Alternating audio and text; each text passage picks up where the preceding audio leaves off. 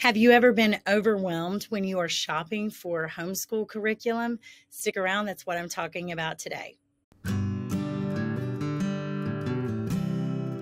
You know, there's never been more resources than what we have now in the homeschooling world that are available to us. I mean, we have online. We have uh, online curriculum. We have online groups where we can meet people and ask them questions. But sometimes when we have those resources, it just leads us down a path that leads to harder decision making because there's so many choices and so many options. So today I'm talking about some things that will help you when you are choosing curriculum, how to feel better about the decisions you've already made, how to go ahead and be proactive and make a decision and stick with it. Number one, there is no perfect curriculum, so be prepared to make adjustments.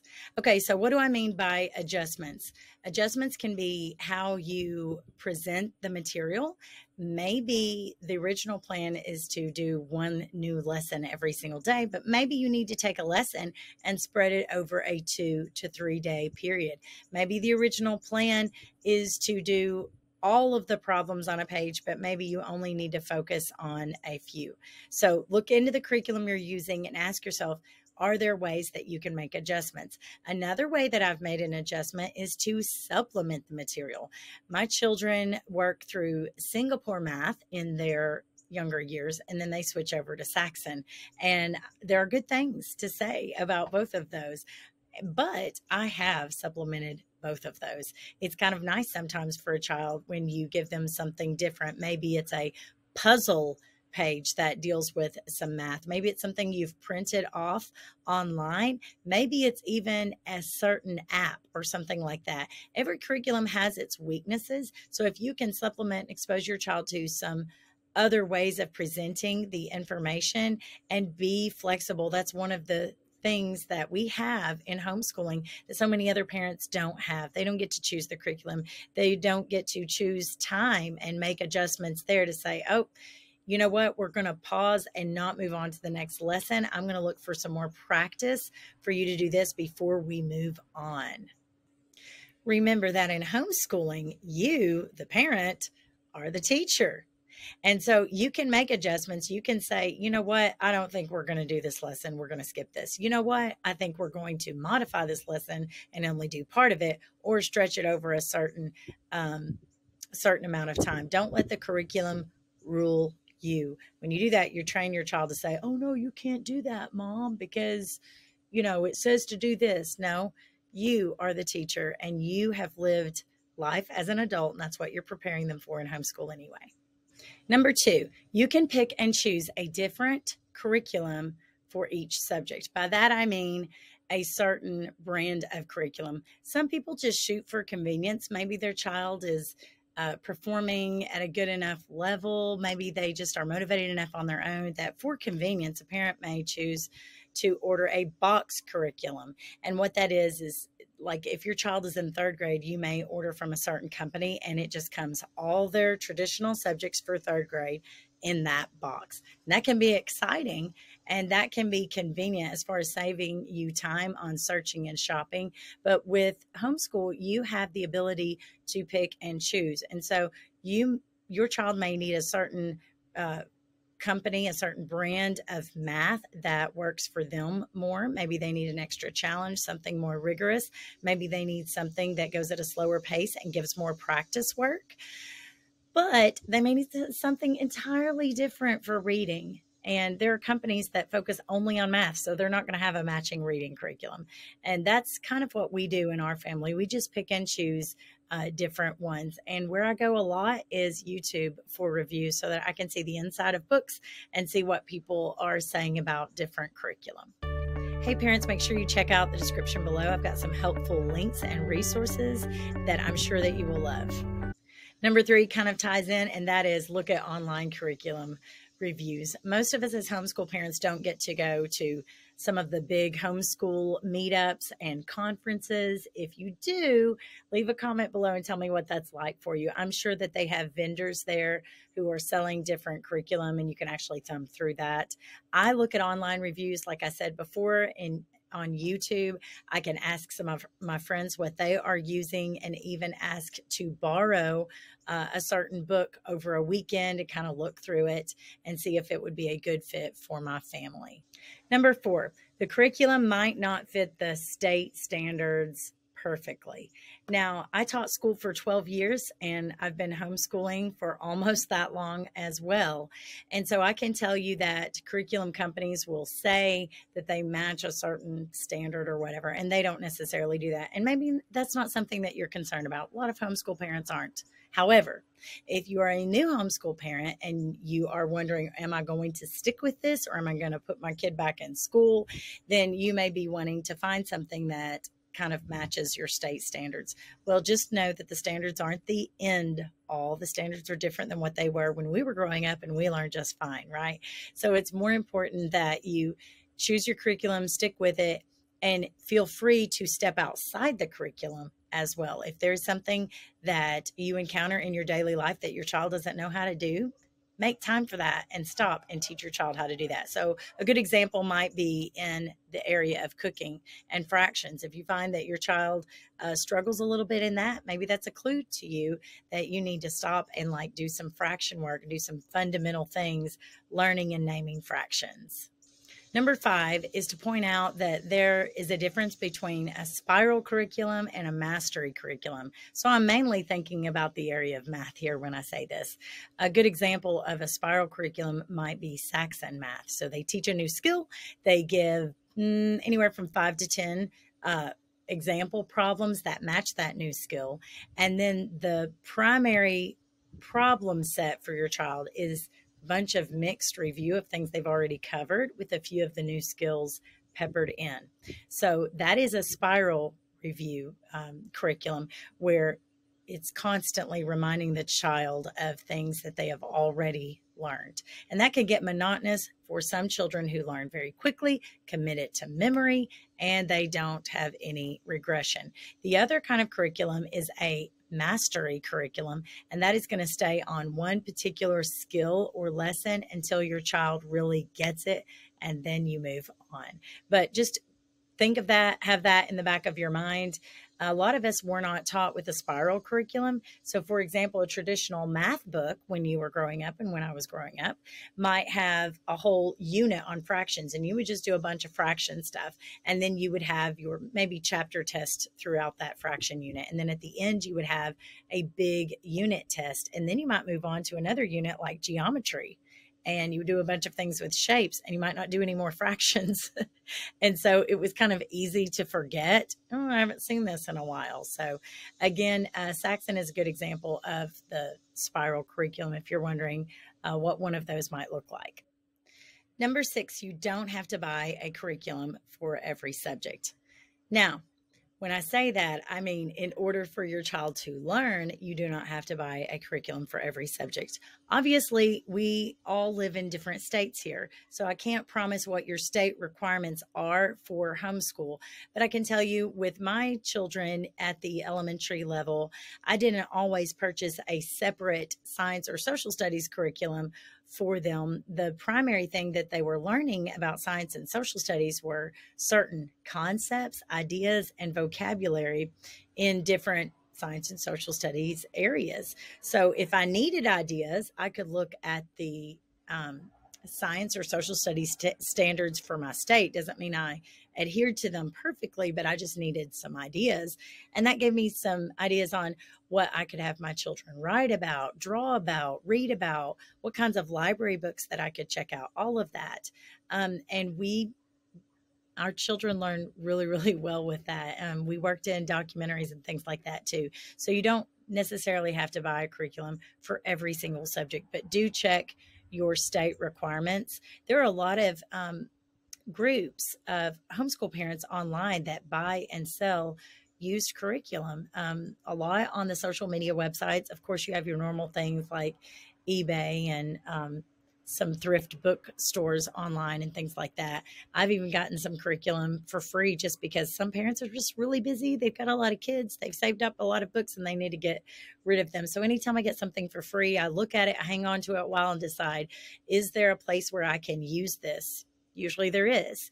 But if I've hung on to it long enough and I can't use it, I just pass it on and bless someone else with it. Number seven, you may finish the curriculum early or continue the curriculum into the next school year. So, just like I said in another video, my child, my second grade child, uh, didn't finish all of his second grade math. Part of that was my fault. I was busy with some business things and we just weren't very diligent with it. So we used our summer to finish that. That doesn't mean he was working eight hours a day. I know some people that don't really understand homeschooling uh, really misunderstood that when he would say, Yeah, I still have to do some work this summer. But we made sure to go and finish that. I paid for that. Those are some skills. You don't have to throw something away just because it's a second grade math book or whatever, and your child is in the next grade level. Go ahead and finish it through because a lot of math books, anyway, will have some review. Or if you know for sure you're not going to use it, pass it on, give it to someone else. I can't tell you how many times that someone has passed on a free textbook or curriculum to me. And I looked through it and any unused pages, I just tore out, stapled some of them together, and we used that um, whenever we had a day where we were on the go and I didn't want to pack a full book and I wanted my child to still have some review and something to practice on.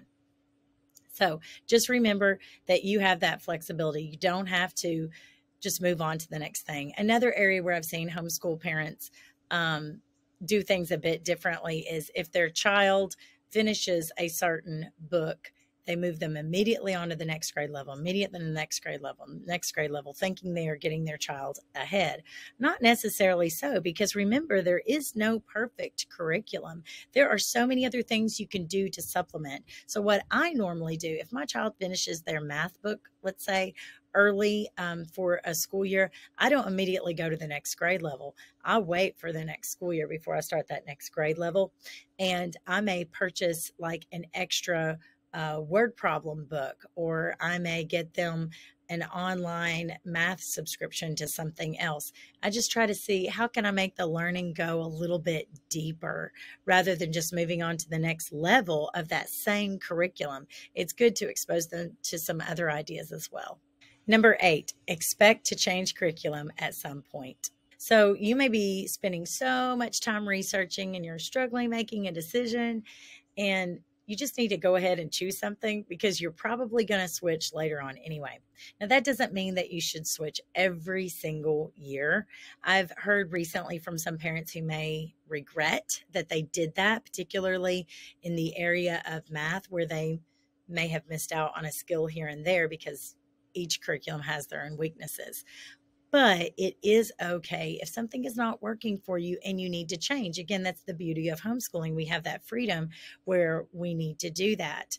Just go ahead and expect that. You may be purchasing from a certain curriculum that you afford now but maybe you can't afford it later in years to come.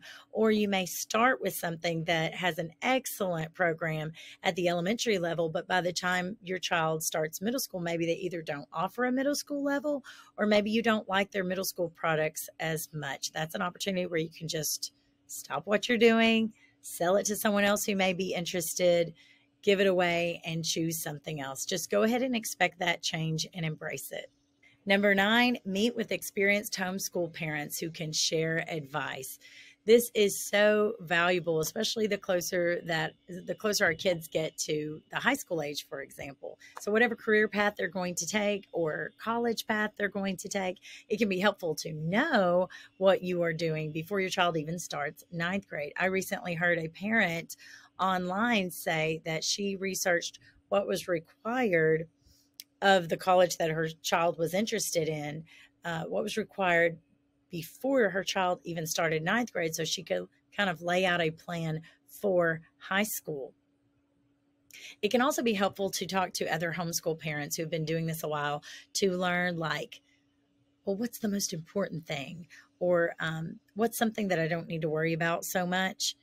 And everybody will have their own opinions but the more people you talk to the more you're going to see that there are just certain truths certain patterns of what the people are saying that you're like okay well this many people that don't know each other and they aren't connected in any way they're just homeschoolers they're all saying the same thing. So there's probably some amount of truth to it and it can help avoid some pitfalls along the way and help you have a smoother learning experience with your child. Now, where can you find these uh, homeschool parents? I realize that some of you listening to this, especially if you made it this far in the video, you are probably a new homeschooler and you may not have family who homeschool, you, who um, you may not have uh, people at your church that homeschool and you may be a pioneer in your area. So where do you meet these people? One of the places that I meet people online is uh, social media groups. Okay. And you can use your search engine and type in maybe uh, your town, your city, your state, and then the word homeschool and see what pops up there. You can also go to your local library. Homeschoolers use the library a lot because they don't necessarily have their own building. That's a good place to ask. And another place to ask is churches in your area. Sometimes homeschoolers will uh, pay a church for the use of their building during the week for one or two days. And there are different groups of homeschoolers that come together. One type of group is called a co op, and that's just parents coming together, sharing the teaching responsibilities of certain classes, a lot of parents just get together for homes for homeschool co-ops, not necessarily because they feel like they can't teach their child. It's just a chance for them to get together and have support from other parents and me and see them on a weekly basis. Same thing for their children, for the children to make other friends who are homeschoolers. The other kind of group is called a tutorial, and that usually implies that the child is dropped off at a group of homeschoolers. Um, who are divided into classes and have teachers who teach them and can assign, assign some homework with them. Different co ops meet different times throughout the week.